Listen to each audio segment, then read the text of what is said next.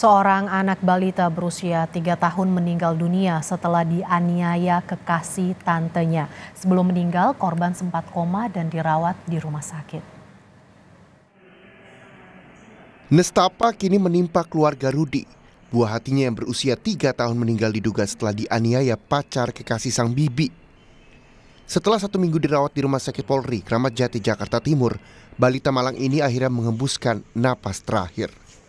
Korban langsung dipindahkan ke ruang transit jenazah Rumah Sakit Polri Kramat Jati dan akan langsung diamankan pihak keluarga.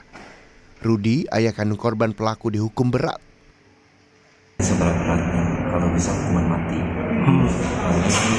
Penyiksaannya udah terlalu lama. Hmm. Udah itu sampai mati, anak kecil lagi. Hmm. Gimana kalau anak kecil dibikin gitu? Kemarin sempat video call kan ada luka di kening.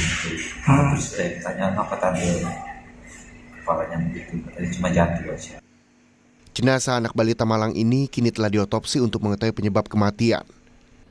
Polisi bilang mengkaji ulang pasal yang akan dikenakan kepada tersangka.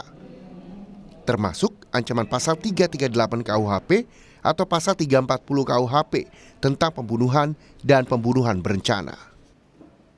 Sesuai dengan hasil otopsi nanti akan kami sesuaikan dengan apa yang uh, ditemukan daripada uh, hasil dari forensik.